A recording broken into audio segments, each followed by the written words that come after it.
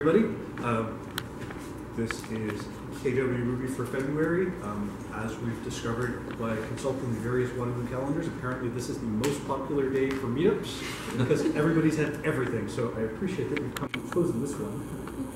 Um, So uh, Mary is going to give us a presentation on showing off her work of using Azure Machine Learning and uh, blob storage in Ruby. She's the, as some of you may know, she's the data scientist at uh, Funnelcake. Uh, Funnelcake does sales and marketing analytics, and I think there's at least, so am I right, two people who are Yeah. Funnelcake? Uh, They are always hiring, so if you're looking for work, oh, and I see business cards, so. Uh, Let's see, we're gonna, I'll follow up with links in the discussion and probably send them out for Twitter. Um, Mary's gonna follow up with, she's gonna be doing some blog posts, uh, related to the post. If you're interested in the Azure stuff, Lori is gonna be, Lori, sorry, am I getting your name right? Yes. Lori, uh, her group, uh, her .NET group is running an Azure, uh, workshop? Dev test, no, it's a Dev dev test. test session, um, so uh, Sharon Bennett will be able to speak on setting up dev test labs in action. So if, if Mary sells you on, so- so if Mary sells you on Azure and you can't get enough Azure at the end of tonight, there's more Azure tomorrow. Yeah. But that Um, one is completely filled up maybe, or? Oh. No, no, not yet, Okay. lots of work. And at the central, at the Central Kitchener Park. Library? Yeah, the one at Queen Street. It's- Okay, wow, all right. Uh, let's see, so for the rest of KW, we are approximately booked out until June. Um, Kareem is going to be presenting on the Trailblazer gem uh, next month. That's a gem for adding extra structure to Rails applications. Uh, I'm looking forward to that. We've had a few previous ones on hexagonal Rails kind of stuff. Um, I think Trailblazer is another example of uh, sort of a more concrete example of how to structure Rails after you've gone past all the out of the box stuff. Uh, in what, what month am I getting to? April. Yeah. April, uh, Josh Teeter is going to be giving us a presentation on using Rust with Ruby. So um, the same way that you would have used a C extension for a Ruby module to make things faster, um, you can use a Rust extension. Uh, know, get some of the benefits of memory management and the various benefits of Rust. Um, so he's going to cover that. He's done a gem that does string interpolation. So interpolation? No, that's not the right terminology. Changing camel case things to uppercase things and playing around with how your strings are formed. So he makes it fast. Uh, in where am I? Where did I get to? I got to May, May and June. Uh, Vidyard has volunteered to host us for the first time, so we're, we're I'm excited that we're getting some new uh, new company faces. Um, funnel cake and Vidyard. Uh, we'll, I- we'll probably do a Ruby contribution workshop in May, so we'll get together and work on some open source projects. Uh, and then June, we're still figuring out what the presentation is. Maybe something from someone at Vidyard, but maybe something else. So we shall see. Everything shall be posted to the website. Uh, and Mary mentioned that she was looking for feedback. So if you've got, uh, at the end of her presentation, if you've got any comments, we can, we'll take a few minutes to uh, do some follow-up. Um, would you like feedback afterwards if uh, people don't feel comfortable? Yeah, that's also fine. Cool. Uh, so afterwards, uh, we'll get links and everything posted out to follow up. George is videotaping, so we'll have a videotape that we'll also, or a video that we'll also do a link to. Yeah. And I think that's it. Anybody have any news that anything that they want to announce? Anybody desperate with a presentation topic that they want to give? Excellent. Okay. Thank you very much. Okay. Thank you for the wonderful introduction.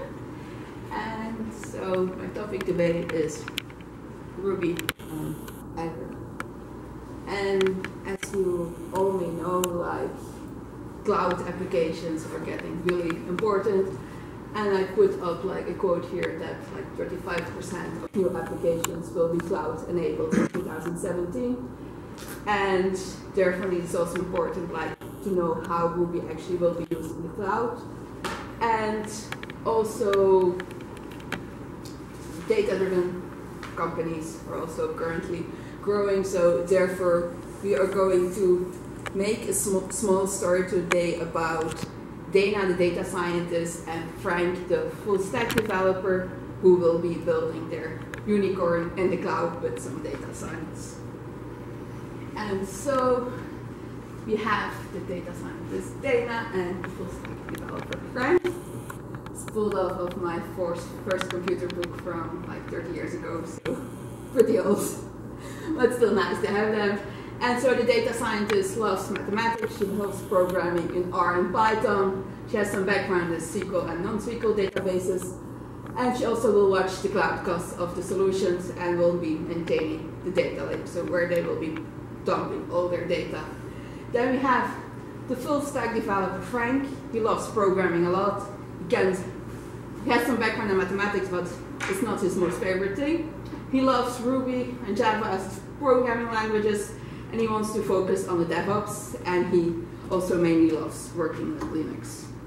And the idea that they have and build for there's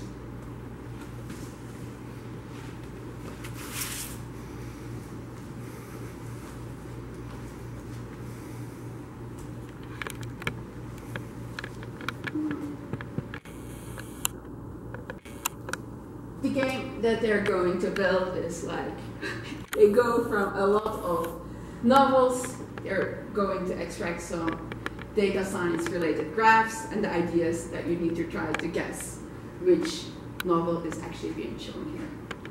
So, anyone an idea for this one? Otherwise, Right, there's, Brendan's? yeah, that's true. Yes! you get a jelly bean. yeah. Fun thing, right? So that's their idea, like automatically building like these things. So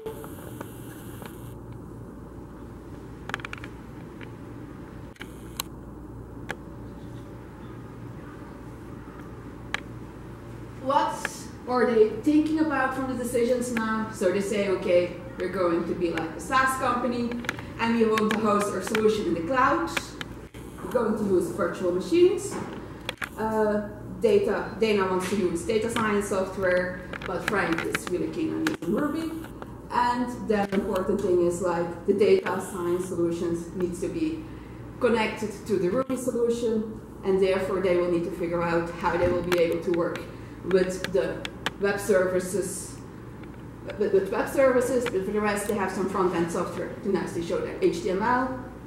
They need to get their novels up in the cloud, so they need cloud storage. They also need to have the web service going and need to figure out their DNS and IPs set up. And finally, they also want to make sure that their cloud costs are not getting too high. So where will Ruby all be coming on? So we will have virtual machines. I need to make sure like that they nicely can install Ruby there, have data science. There's no Ruby involved, so that may Dana will be happy. Next, the backend software, which will be nicely Ruby layer, so Frank will be happy, and then there's the connection between the data science and the backend side. The front-end software later on, they will be moving on to Ruby on Rails, but currently they will be leaving that out. For cloud storage, they will be looking at blob storage. I will also explain that one later on. The web server will be Apache 2, and then they still need to figure out the DNS and IP set, the IP setup, and the cloud cost. So the architecture will look like this. So we have first over here they will store all the different books. Next they will extract all the data in a more workable format for which is called the ETL process and then they will store everything in blob storage.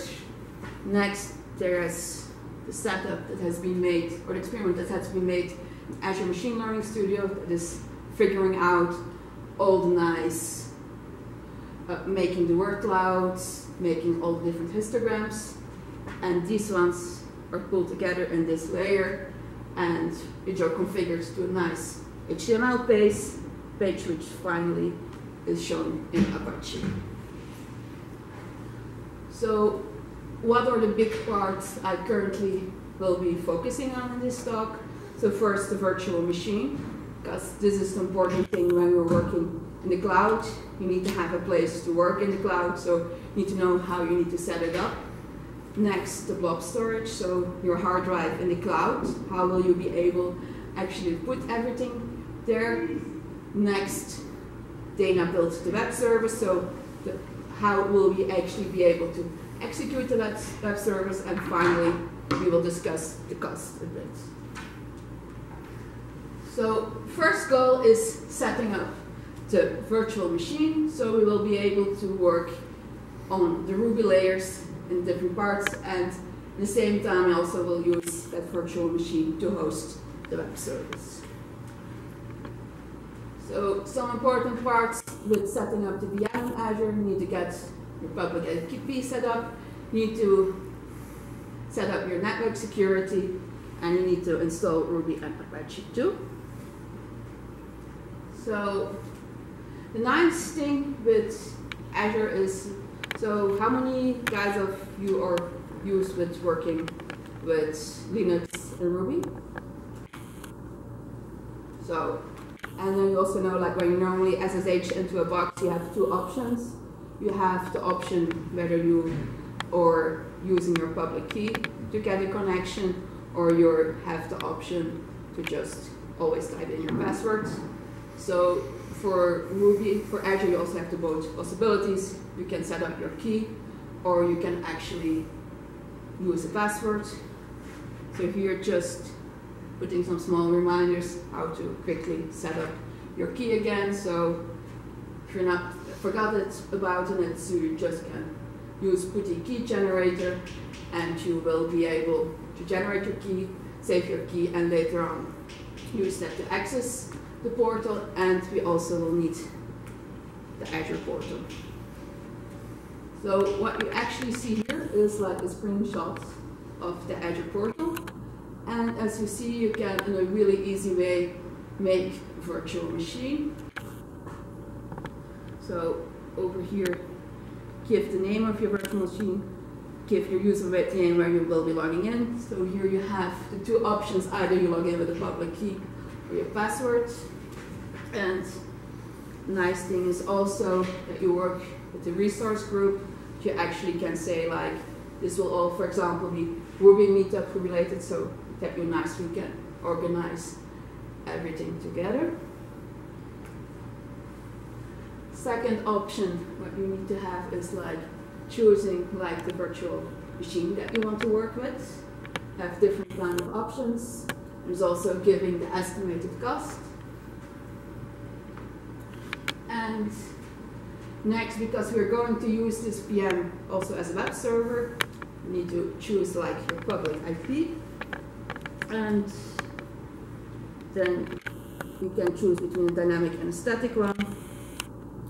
And final thing, which is also important, is configuring your network rules that you actually will be able to allow HTTP requests to your virtual machine. And then nicely, because we have also set up this public IP address here, you will be able to actually connect to your virtual machine in the cloud. And over here you can set your public. Next part for installing Ruby and Apache. The sudo apt-get install is not the best strategy because you get an older version. So therefore, instead, you can use rbenv and next I use this for setting up Ruby 2.4.0 and finally you will need actually Azure and HTTP for being able to perform the rest of the talks of, of the talk and then also need to install Apache 2. Okay, and this gives gets us going with the virtual machine in the cloud. And now we can do the real work. It's just was also mentioning this here now because the, the main, not issues, the main task that you always have in the cloud is first getting your machine there before you just can start to run. So, okay. So this brings us now to the blob storage. So we need to be able to put our stuff in the cloud, and this will enable us to put the books in the cloud, perform like the blob storage for web service processing, and also just store a result back from Azure. Okay. So what is blob storage? Blob storage, you can mainly see that as a big hard drive in the cloud, and you can store there anything what you want. You can store there text stuff, you can store there binary stuff, you can access it through HTTP or HTTPS, and some usage for it is you can store images there, you can log, store logs there, you can store video and audio. And also some concepts here, so you have the account that you're working on, you can see this as your user account, for example, on Windows. Next you have the container, which you can see actually as your directories. And next you have the blobs itself, which are actually the files. Okay. So this is lots, lots stuff before I get to real Ruby stuff. So okay. So next you have how can you actually try playing with blob storage? Has anyone played with cloud accounts in the past or? Like uh, uh, AWS stuff. Okay. So indeed, similarly, if you want to work with Azure, you can also try like the three month trial for two hundred dollars. Again, sign up with it, and then you can also play around with some of the stuff here. So, and so if you want to play with blob storage, so you sign up for your Azure trial account, you create a blob storage account in this way. Again, you go to the portal, you have add and then you will find the storage account. Some options that you can choose here is you can give a name for the storage account. You can again select resource manager and put on some extra options. Next, you will need to be able to access your storage account, and this will actually be by some extra keys over here. So how will we actually be able now to access the blob storage? Therefore, you first need to install the Azure Gem. And over here, you see we had the lake of books, which is my Azure account name. Next, you have the access keys, which will provide you access. And over here, you have the CSV books, which actually will be the container where everything is available. So how will you be able to access this? Like I said, you need the Azure gem and you build up your connection string.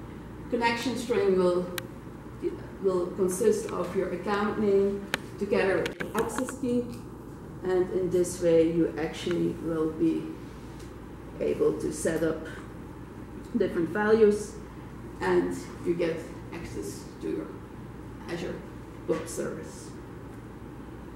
And this is up a bit. So now how can you get your listings actually of Azure? In your blob service, you see over here the whole list.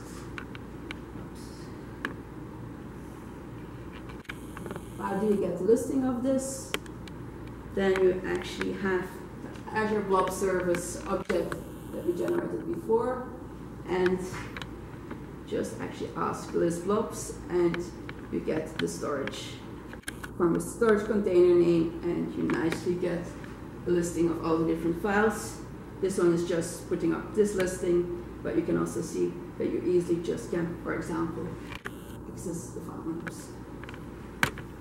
So actually pretty easy to do. And you, you don't only want to get a listing of it, you also just want easy to download actually your blob storage. And in a similar way, you just can loop over all the different objects, and what you see is you get the blob storage container name and the file name, and this will actually allow you to download your files from blob storage, and then you get them on your Azure VM. So in this way, you can actually still move your your, your files in the cloud, which indeed sounds a bit weird. So you can put it locally, but you can also just move it around in the cloud to different VMs. Thing what you also need to take in mind there is like if you're moving it around at different places, also make sure to delete it at one place. That you don't have like a bunch of copies because otherwise it might get pretty gusty. Okay. So we have now built up the next all the different parts of the architecture and now we're getting to this piece. So we have the Azure Machine Learning solution, which will allow us actually to, which is making all the different nice graphs. How will we actually be able to automatically extract these ones? So Azure Machine Learning Studio is actually also the thing I love the most about Azure. The reason behind it is actually that you can see you can combine different parts of different languages there. So you can use R, you can use Python, you can easily connect, actually get things from SQL Server, you can use stuff from blob storage, you can put everything there, you can make your graphs, and then you convert it to a web service, and then you nicely just download everything and connect it together. So in that way, people who, when you're doing data work, you can easily work here, and then next you can convert it to a web service, and then you actually easily, the, yeah, the other people, the programmers just just use it, get the data what they need, they can get the images what they need, and they can move on, and everybody can use the technologies they love. So, and what you see here, so the way I built this, so I can later on also make give a small demo from the from the website itself, but like what you see here, you have a book over here that is saved in blob storage, and I connect like one, select one column from it, and next I'm executing different R scripts. Some of them are making the word clouds, other than of other ones are actually making like the the histograms and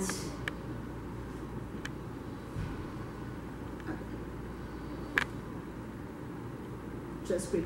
If you actually would see here, you're clicking on this one here, and this is actually giving like this word cloud over here. So data scientist is doing his or his or her work, doing some analysis, getting some pictures. Eventually, she's really getting happy with the results, and then she's actually saying, okay, I want to expose this as a web service.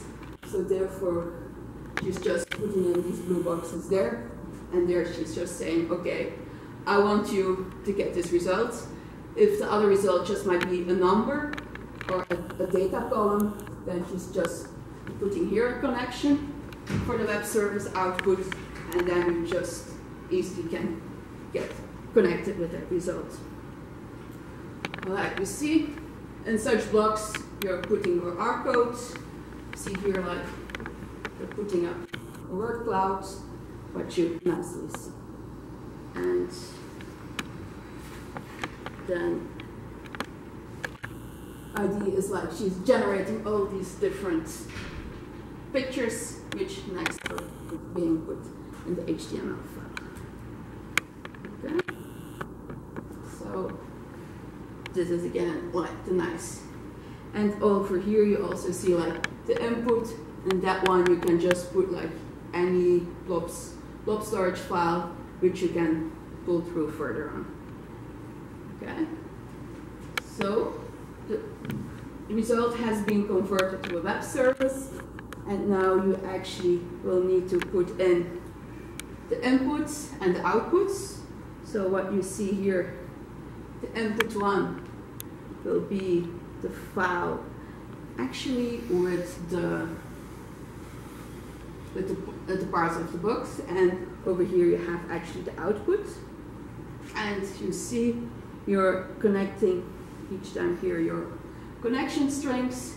You're providing the account keys like we had before, and the different locations. So you see here word cloud selected, my containers, so they're all belonging to the different blue boxes that we had over here. So you see all the different blue boxes below, ditch these ones are all each time two lines here where you're defining them and where you're actually getting back those results from the cloud. Hmm. Is it okay for everyone or? I'm a little bit confused. Okay, yeah. So this is the payload from one of the services. This is yeah. So indeed, this one. So you have this experience. Otherwise, one second. So So each of those services has its own endpoint that the Yeah. Rails app or the Ruby app can connect to, right? yeah. One second.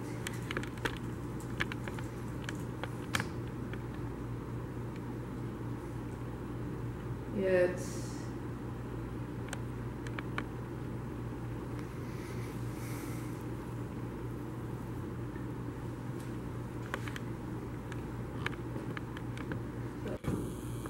here, so this is the big part.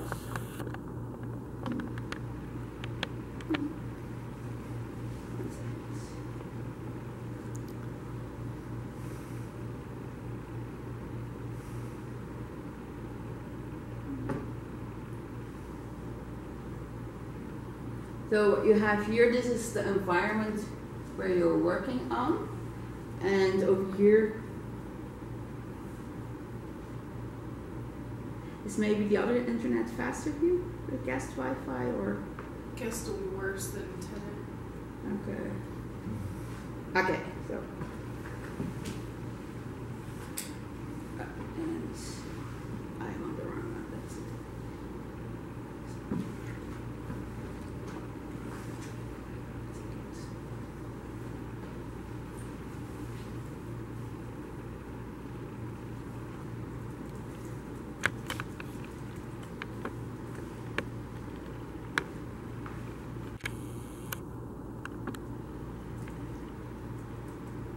Yeah.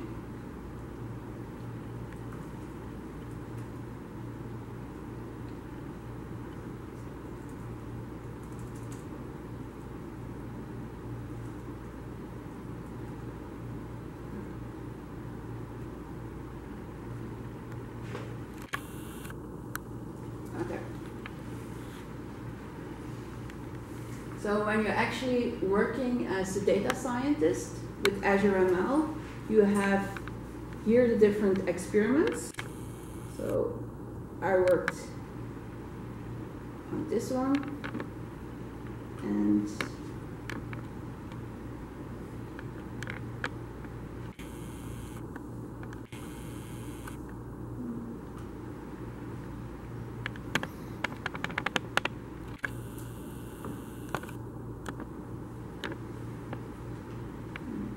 just me. And what you see here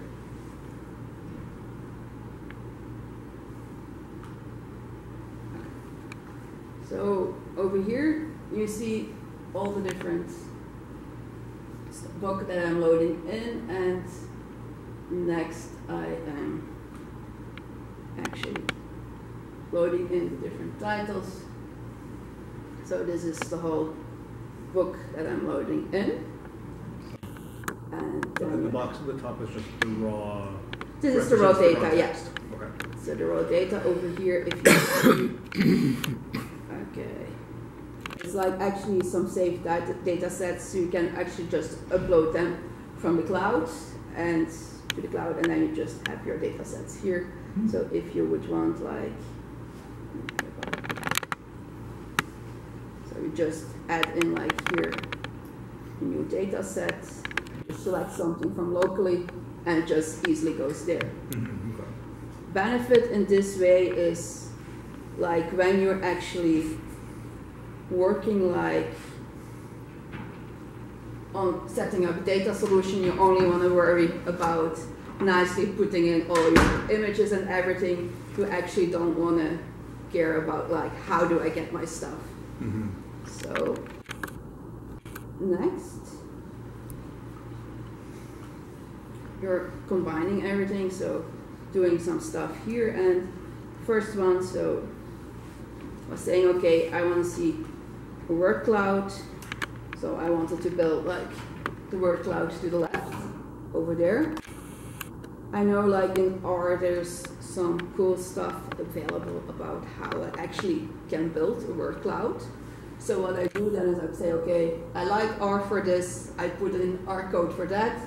Only thing I need to worry about is how do I get my data in? And then you just see, because you have here two different blocks, two different dots. So this is data set one, this is data set two, and this one is if you want to add in like an extra R library or something, you just put that one in there. And if, if you don't are not happy with all the stuff that Azure already has, you just put it in there. And then you just put in all the different things. You have your word cloud over here. And if I would say visualize, you see nicely there your data set appearing. And also what's important to notice here is like you have the graphics title here. This is the one that we later on will be retrieving back from what is saved in the data set so that you will be looking for graphics and then you just pick out your graphic there. And similarly, also what you see here is this one is set as word cloud all. And that word cloud all will be like what you see in the payload. That one will be defined as word cloud oh, all. Similarly, frequency all, this is like, you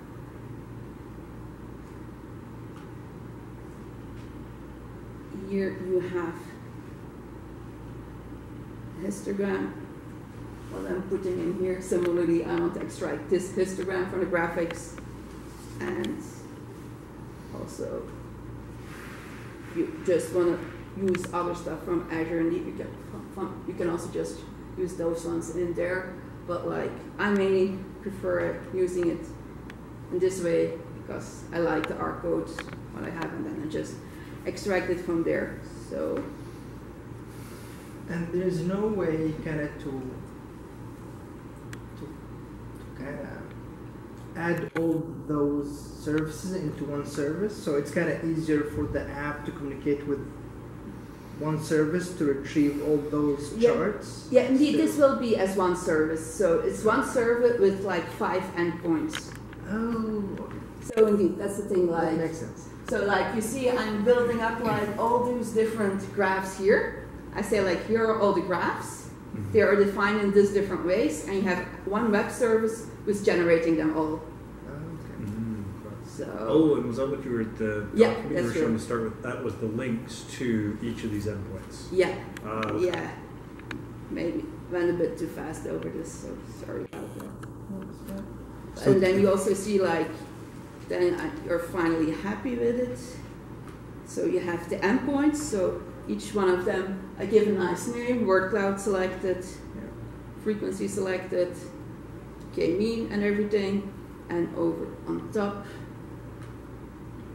you actually get the input.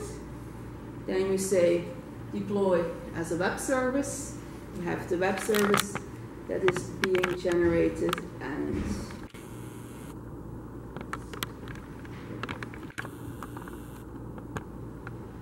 and you see here all your deployed web services. And you have here your key, which maybe you can cut out later on, George. and it, you can just do a response that you would just give like one sentence. Like this case, we have a batch execution because we're giving a whole book, and then you have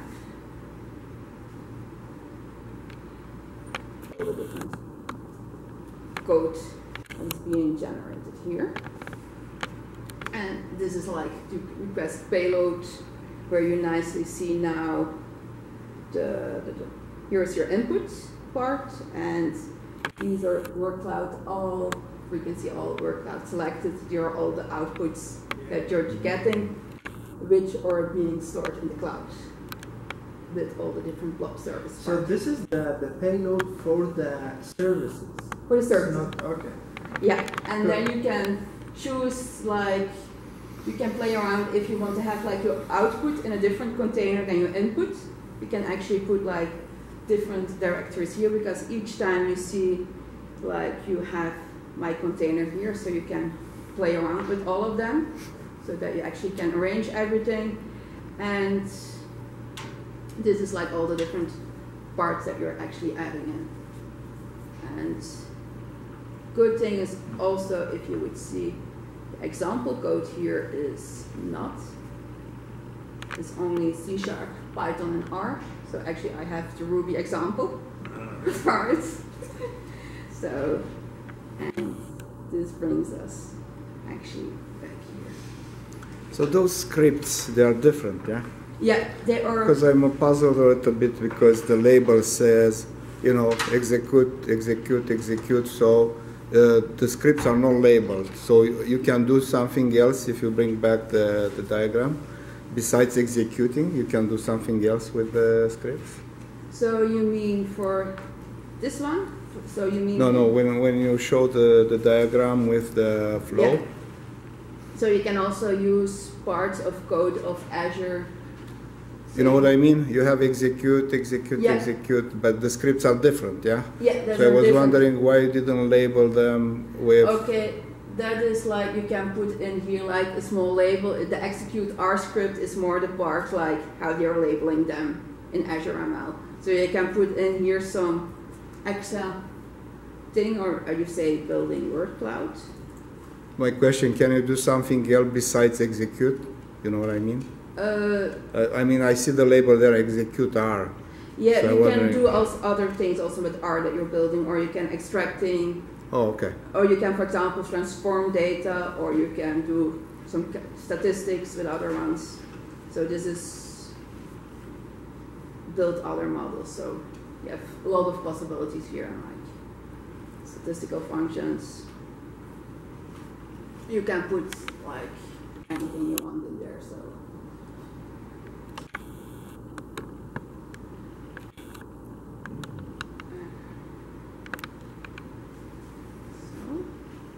So this brings us.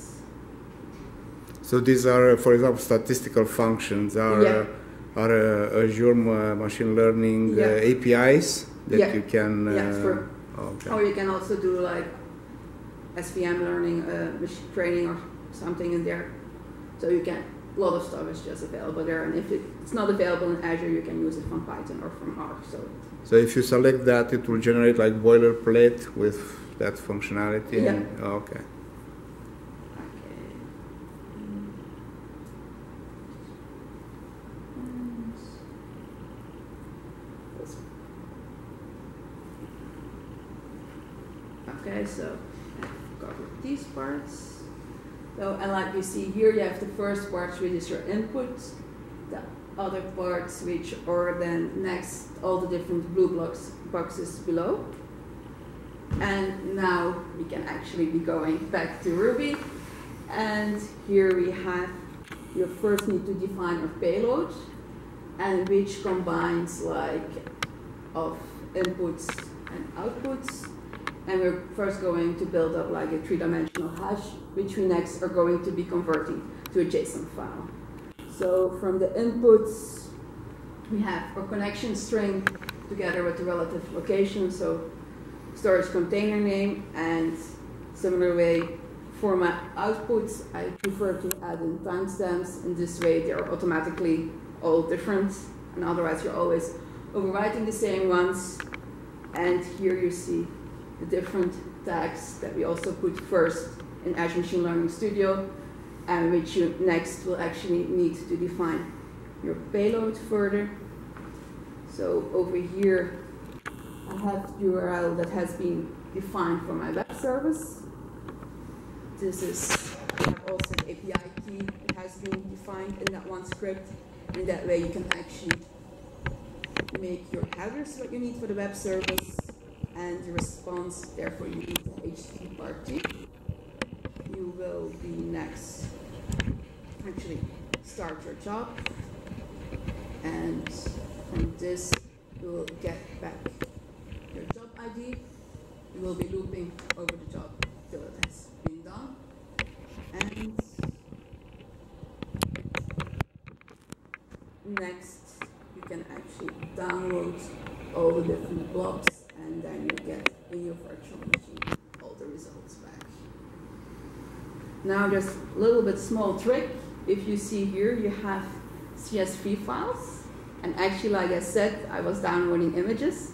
It's like a little bit of trick actually because normally you only get CSV files but you can also connect the second dot but you can't call them something different as a CSV file because then Azure is complaining, but it still lets you download everything.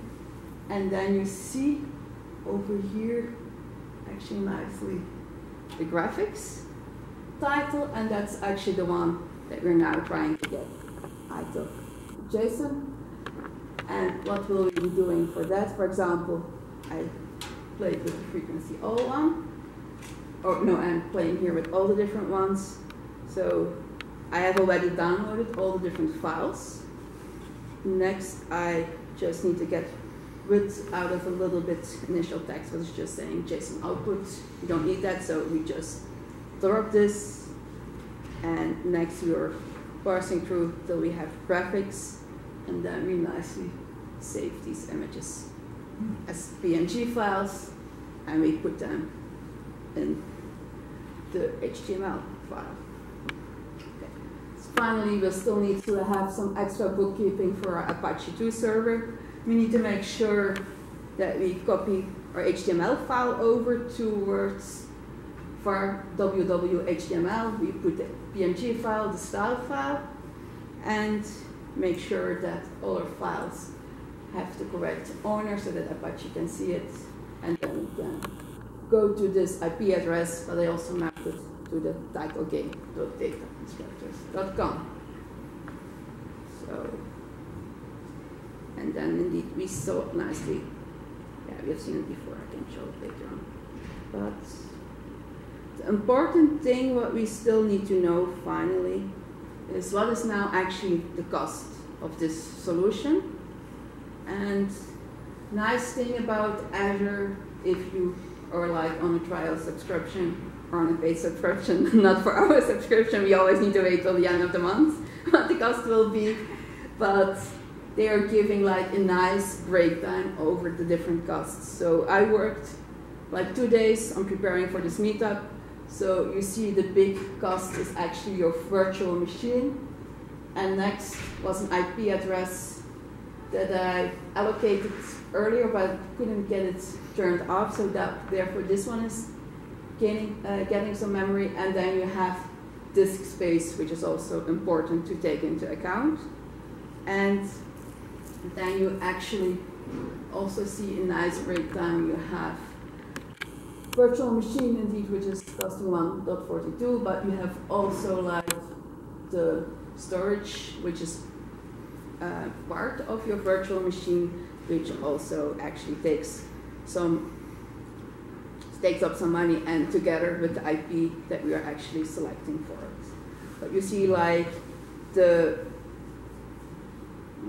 just storing like some stuff in blob storage alone is a good cost, but you also just need to make sure that you're not like saying, okay, I just put everything in my virtual machine, so it will cost less than I'm putting it in blob storage, but you have also yet the drive which belongs to your virtual machine, which also actually takes up a lot.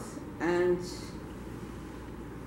conclusion is for today we have learned how Ruby and Azure can work together, so how you can set up virtual machine, how to use blob storage, how to call a web service generated from Azure ML and which costs you have.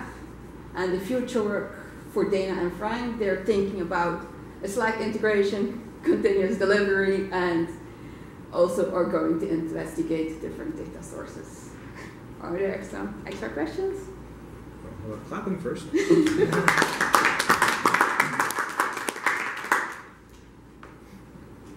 I'm kind of curious about the technology choices, like uh, deploying a Ruby app to uh, uh, uh, Azure. Yeah, therefore we have. Because it looks like uh, you don't really need to deploy it there because it looks like your uh, machine learning stuff can generate its own service, right? yeah, it's just like, like, uh, for example, at our company, we use, use Ruby, so we have like, we also use rake tasks from Ruby, so really governing like all the different parts, how data is flowing in. And there we also have like a Ruby on Rails application. And so it's also more, more like next we're going to see like how can we actually incorporate data stuff with uh, with Azure Machine Learning Studio, and then the question was like, how can we nicely plug in this part from Machine Learning Studio into Ruby?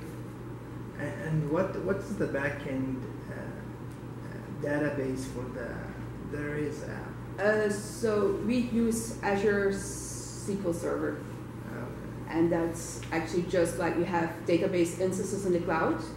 So in this way, So that's the only the only SQL database available on Azure, right? you can also use MySQL there, right, Robert? You can use like MySQL there also, and if you want to have like your own thing that you're developing, you can also spin off like a VM hosted there. Ah, okay. But like we use their Azure SQL Server because it's our hosted instances. You just say like I want to have a database, and your database is there, Yeah. and like all the backup stuff is managed by by Azure, so that you don't need to worry about it. If you want to have your database bigger, you just go to the next instance and you have a bigger database.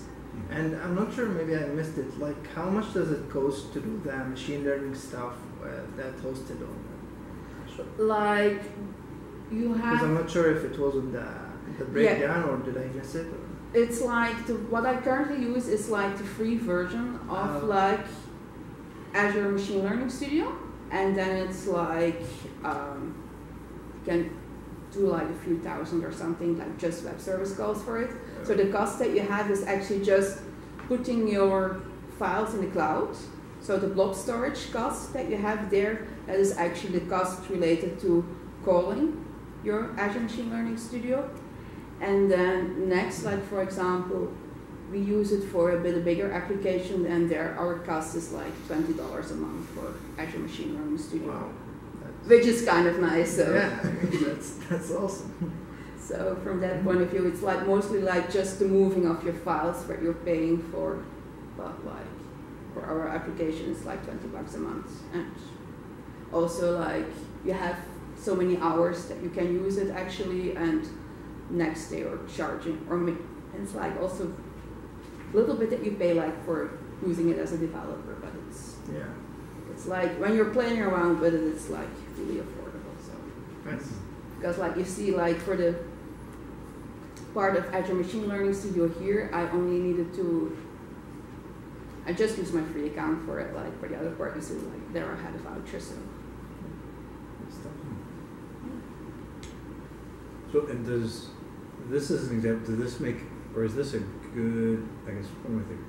Does this follow like the same kind of structure you would use for a production system where your, sort of your machine learning yeah generates your results and then your web servers yeah don't touch the machine learning part and just kind of serve Yeah. the results appropriately? yeah that's true. Mm, okay. Like, we have currently like the title normalizer that we use like to clean up a lot of titles and like I first and nicely built like the whole machine learning part. Jeff is the next calling all the different parts. He's just feeding data there. He doesn't need to care about machine learning stuff. He gets data back and that's what we're showing to the clients then.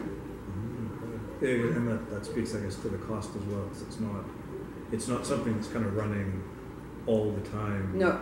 For your web service, it just does its thing and then. And then, yeah, and then, yeah, you just spin off an instance. Mhm. It's running there and it stops. Yeah. and it can also run multiple. I believe it's six or seven batches that you can run simultaneously of big batches, and then skewing itself, and then when one worker is released, the next one is being pulled in. Yeah. Yeah, which I guess you, you can decide if, if you've got big enough data or Yeah, You need fast enough results. Pour in as much money as you'd like to make it as fast as you want. yeah, that's true. Hmm. But the web service is hosted in Azure, yeah. Yeah, So uh, you you pay uh, for each access to the service, or uh, it has to be up all the time because you don't know when someone accesses it. it's it's for the access that you pay. So it's just it's more. I think more in the idea like a lambda function, just when you need it, that it's being called, and otherwise it's just not eating resources. So. Can you use like a compression to minimize resource usage? You have CSV files. Yeah, probably. Yeah, that's true. You just need, need to just decompress it at some place, but indeed, definitely different places that you can look to save extra money. What do you mean by data? Different data sources for the future work. That was a little bit a joke, like now we're just novels, but they can also just use songs or they can use like music, no, sorry, movies or something, just use text from there and just saying like, what are they seeing now? I mean, from the transcripts, yeah. You open the transcript, yes. Can convince Microsoft to load Project Gutenberg into Azure so you can just have it. as- Yeah, that's true. I don't think that Project Gutenberg would like that. they say there if they see if you would be automatically downloading from their stuff, Uh, yeah, yeah, that they would block your IP. So I only downloaded one book. So no, four books, but I only used one. So Hmm. Um, have you worked with any of the other sort of cloud machine learning systems for comparison, or? no, it's just we at Funnel Cake we gotta do. Yeah, we are working with Azure, and so they're friendly to look at that solution. No, no, no. I, I completely understand. I, Yeah. I work with uh, Amazon in my work, and I was like, I should probably spend some time looking at other systems. But like, I got enough to do Yeah, doing this, and when it when it works and it does the job. Yeah. Yeah, just like initially when we were looking for a cloud provider, we were a little bit comparing the different systems, but Mhm. it's just like when you choose one, you Yeah. just need to see what, what's available here. And I also really like it a lot. Like certainly like this concept of Azure Machine Learning Studio is nice because Mhm. something I also saw like more than ten years ago, like when I was researcher with medical imaging there, we had the same concept with all the different blocks connecting them together. So I was happy to see that stuff coming up again here. Mm-hmm. Well, yeah, and, and certainly, as you said, the idea of being able to sort of have the the data scientist who doesn't want to know all the details Yeah. of the Ruby stuff, and the Rubyist who doesn't want to know all the details of the statistical stuff, and being able to give them each a useful interface is really nice. What about Slack integration? You mean uh, to, to parse the content of the, the Yeah. chats or? Yeah, just like just some jokes. Like it's just like always the next thing what you say at a startup, you want to have this in Slack, and people are going, are clicking through it, and then we get more more clients or more viewers. So yeah. I'll be, uh, I'll, I'll have to Should find we see like Skype integration?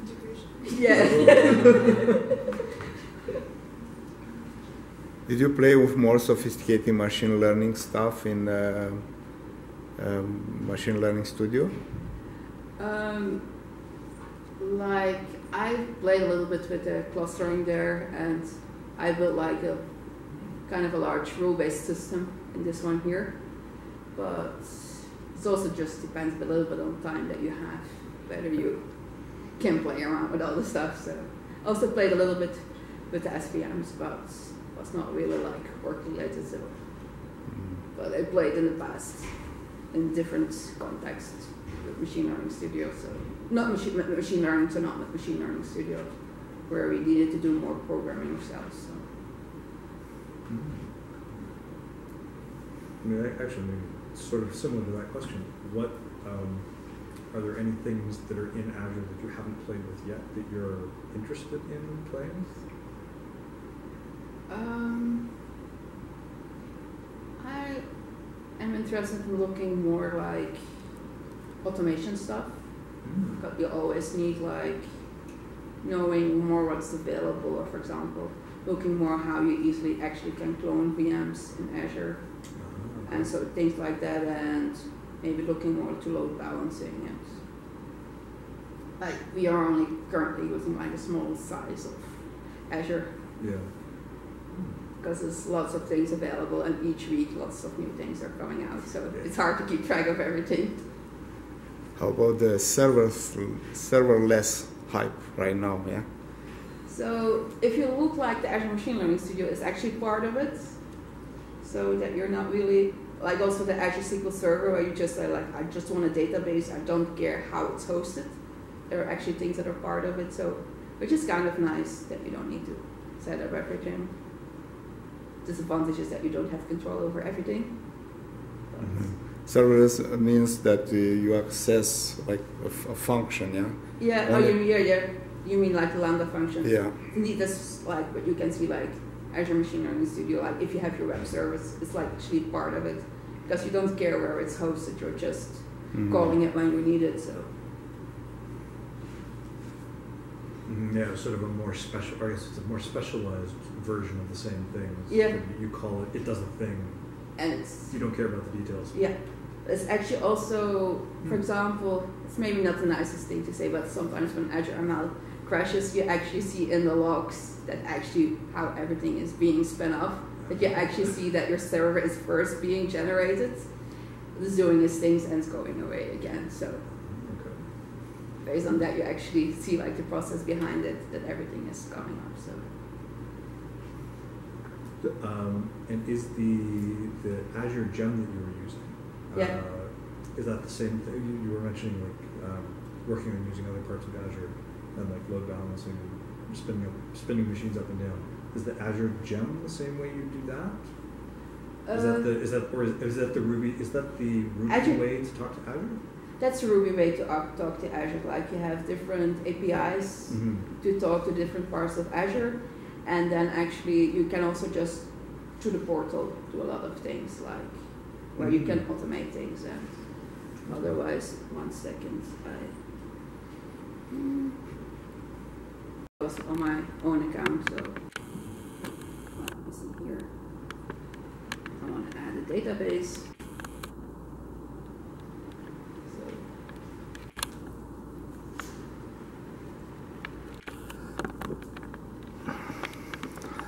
this is indeed what just is allowing you to do all the different stuff and just get your database here. Similar thing like these are like all the different parts we're playing around with here. Like I said, like the network interface is here that you actually can add in all different parts of mhm. security, which are all indeed things that you do through the Azure portal. Later on, if you would want to automate it, then you might be looking into an API, but the benefit is you have like two options. Yeah, yeah. It's, it's nice to have this to get started, and then Yeah, so then, when when you decide you want to do it a thousand times. then you can automate it, and they have a bunch of scripts again to automate it. So, so how have you found the Azure Gem to work with? Easy to use, not easy. it was to easy use? to use, yeah. Like you also saw, it's just like you need to download it, and it's like I think I spent an hour or something like having my scripts up and running when I needed it for work, and only challenging part more was like how to call the web service from Azure ML because the code was not available. It was also Mhm. for me the first time that I was calling a web service from Ruby. So I also first needed to learn how you call a web service from Ruby, and then I need converting the Python code to the, Yeah. the Ruby code. But it's neat if you're used to working with Ruby a lot, then it's definitely not like a big deal. So Hmm. Um, I, I, have you worked with the Azure Gem long enough to see if it keeps up to date with uh, the Azure API itself? This could also be something you just haven't worked with long enough to see it. I just hope that it keeps working. Actually, just like, but yeah, it's like also not that. It's just like listing files, getting files, and downloading files. So That mm, should be fine, so hopefully it's- straightforward. yeah. All right. Does anybody else have any more questions for Mary? Feedback on her presentation?